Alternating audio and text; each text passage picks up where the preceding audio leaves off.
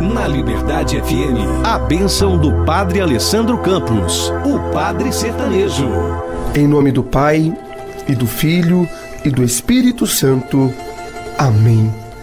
O Padre Alessandro, neste momento, deseja que você tenha um dia abençoado e que Deus abençoe os seus projetos, a sua vida e todas as pessoas que você ama. A experiência de quem está com Jesus Cristo é isso.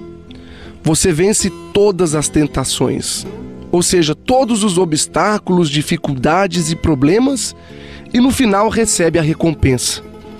Um banquete oferecido pelos anjos depois de passar 40 dias em jejum no deserto. O deserto é o lugar do sacrifício, da dificuldade, da solidão. O jejum é a falta de alimento.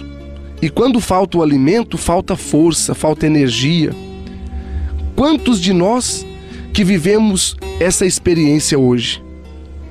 Você que está aí se sentindo sozinho, abandonado, na solidão, sem forças para seguir, sem alimento, sem energia, eu te convido hoje, meu irmão, minha irmã, a fazer a experiência de Jesus Cristo na sua vida.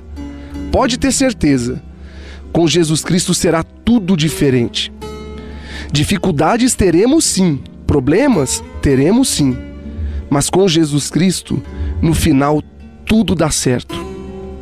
Se você honrar a palavra de Deus na sua vida, meu irmão, pode esperar. Os anjos do Senhor chegam no final para lhe dar um grande banquete, porque com Deus a vitória é certa.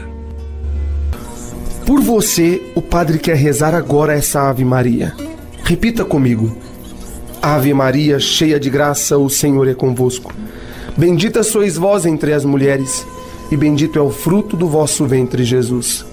Santa Maria, Mãe de Deus, rogai por nós, pecadores, agora e na hora de nossa morte. Amém.